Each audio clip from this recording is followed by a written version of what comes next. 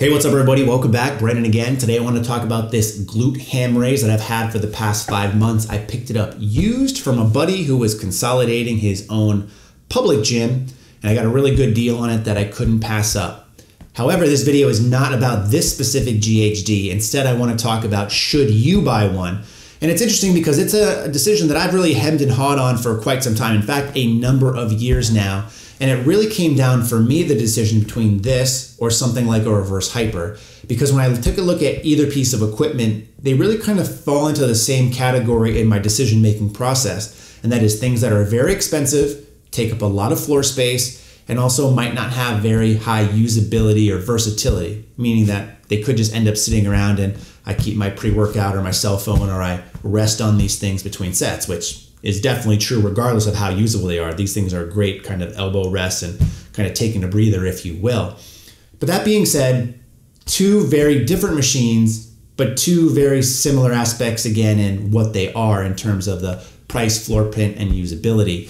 Now, for me initially, I actually made the mistake for me of going with the reverse hyper. And you might recall a video I did a couple of years ago was basically 15 to 20 minutes long, me complaining about the reverse hyper. A lot of people said I was crying in that video, but there were no tears shed. It was just a mistake on my part. And I initially went reverse hyper in my decision making process just because I thought the potential return was higher, meaning that I've heard a lot of people say that reverse hypers are lifesavers and game changers when it comes to your lower back health. I didn't find that was the case for me. And at the time, I looked at the GHD as it's just a GHD. You can do a lot of hamstrings, glutes, a lot of posterior chain work. You can do some ab sit ups if you want to do on that. But there was nothing sexy about it like the reverse hyper was.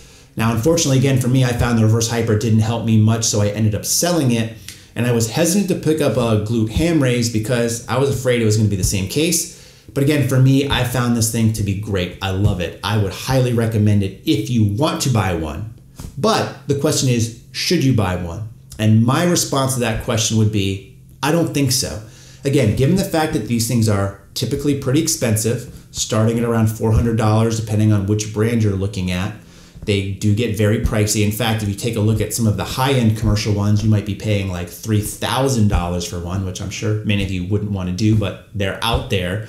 And the footprint themselves usually take up a lot of space. This particular one, which I would consider about the norm for size, takes up a full 4x6 stall mat. So I think that's the easiest way for people to kind of get a feeling for the space that these are going to require. Think about a 4x6 space in your gym. If you're only in a 12x12 space, that's going to eat up a good amount of your footprint.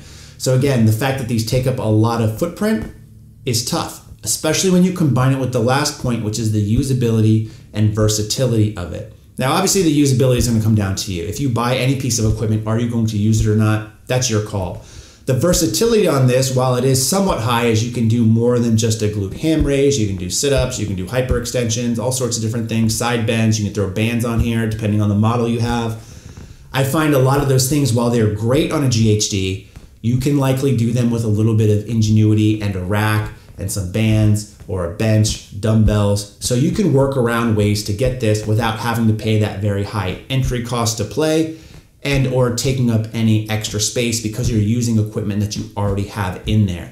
But again, at the end of the day, if you really want one, I think you should buy one if you want one with those caveats I've already listed. But for most general people, unless you're dead set on getting a GHD and you're just watching this video as a reason to consider something, I wouldn't consider it unless you're already fully committed that you want one because even though the benefits are plentiful, the price, the footprint, the versatility, usability, I don't think are there for many people. Now, again, I will say I will actually review this particular model, the Rogue Abram 2.0, in a later video. If you have anything specific you'd like me to cover in that video, leave that in the comment section below. But in the meantime, as always, thanks for watching and stay big.